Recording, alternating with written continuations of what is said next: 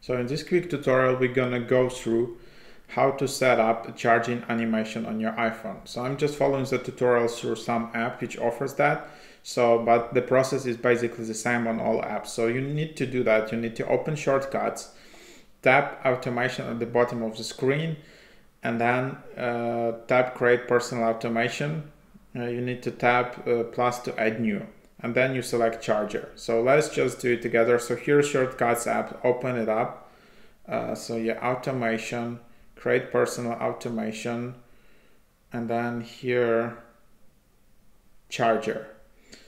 Um, so then uh, when charger is connected, select next, and then uh, add action, uh, tap next, tap add action, tap apps and choose charging app um, uh, like know, this is just the name of the app I'm following uh, because yeah of course you can use any other app uh, to create your charging charging image.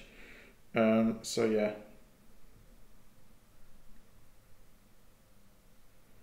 So wait what did I need to do here? Um, uh, tap add action tap apps and and then from here uh, in the apps I need to select charging app. Uh, so then here play charging animation.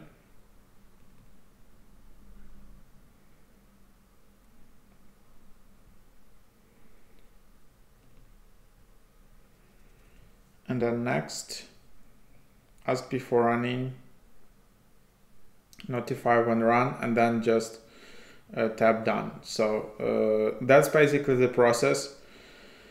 And then uh, it, this is just an example with this with this app I'm using. And then, for example, in this app, you just select, okay, I, I want to have uh, this charging automation, not this ad, but like this uh, charging automation to appear. Um, so yeah, something like that, then will just appear on my phone when it's being charging.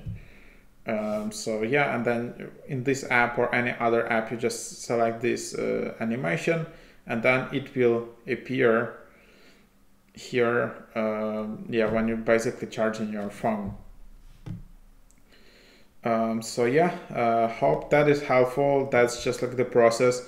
Yeah, it, it's it's a bit complicated if you didn't use shortcut app before, but it's a standard app on iPhone. This app is also being used to create um, like uh, app icon, app different app icons, shortcuts. Uh, for some other things, I actually uh, try to use this app a lot. Uh, like you can see, there are so many shortcuts which you can actually try here. You can make PDFs, you can airdrop, make QR code, calculate like make GIF, all of these apps you can automate with it but then i just started to use it. Yeah it, it, can be a bit complicated and it's not the flow is not that good yet so there you have it